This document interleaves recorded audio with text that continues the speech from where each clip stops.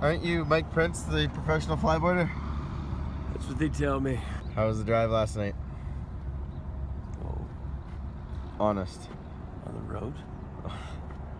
It's long. Did you find Dubai? Found a place similar. Fooled us. It was called Dubois. Slight misspell. It wasn't Dubai. So today here we try again. We look into the fog. But we see many things. Chase it. Dubai. Lights out! If you ever disrespect my crew, lights out! Why you better know what you want do? Lights out! Sloop we just a slew them and go. Lights out, panda boy. Lights out, panda guy. Lights out!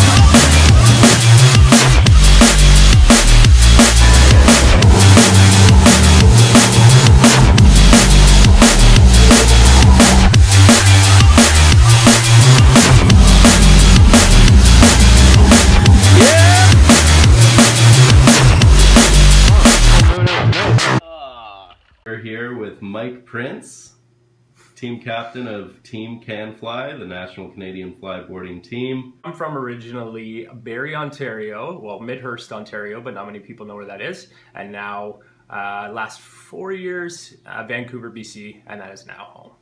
Cool. Yeah, Oh, yeah, oh, oh. yeah. 30 years young.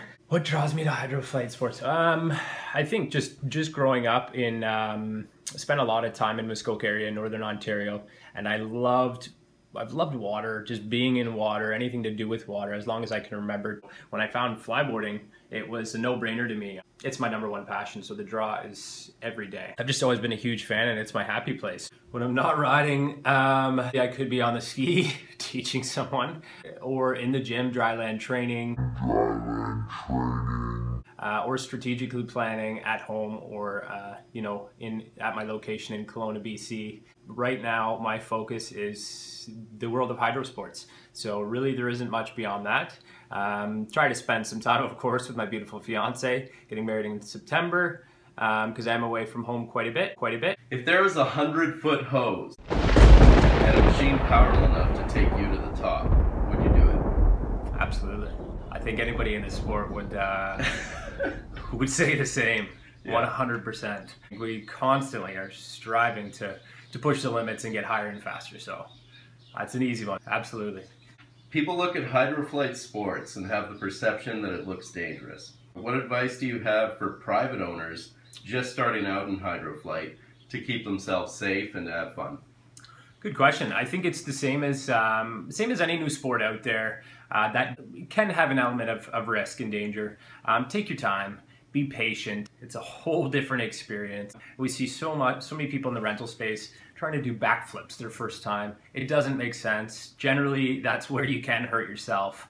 Learn the basics. Learn the foundations first and progress as you should. You know, get comfortable with height, um, all of your turns, your ups, your downs, do some fun dives, and then get to your flips and your twists and things like that. Be aware of your surroundings as well, and, and of course, safety, safety, safety gear. You have a helmet on, you're wearing your life vests, and um, in the beginning, you have a you have a driver that that knows what they're doing, has gone through their operators courses, and is very aware of their their depths and uh, everything that's going on. I have seen you in a film uh, actually dressed as a woman and flyboarding. Can you tell us about that?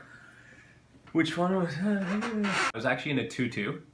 Um, I had a shower cap on and um, some goggles, and I was a old lady stunt double in a Nickelodeon film called uh, Shipwrecked. No, now it's called One Crazy Cruise. They actually renamed it.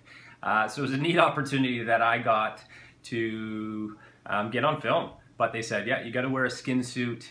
We have to, you have to shave your beard. You got to put blush on. The whole works. They did me up. All said and done, I spent a day there for about a four second clip, but it was a really fun experience to be on film where I met some cool uh, stunt friends of mine now. And, um, and yeah, I get to uh, look up that clip once in a while and, and see this funny old lady. We hung out, we were there for about six hours, and I was eating for about four of them. I got some cool pictures too. And I got a little trailer for a half a day. That's fun. 30 seconds of fame. Super excited about 2016. It's going to be a big year. I think it's a very pinnacle year for the for the uh, sport. Some historical events happening that are open board. Can't support it enough. All the riders enough. Super exciting. Where the sport is, where it's you know how much it's evolved in the in the last few years and where it's headed. I think we're in a really big year here, and I'm I'm really excited to see how everybody's going to fare out. And of course, Team CanFly. Be looking out for us.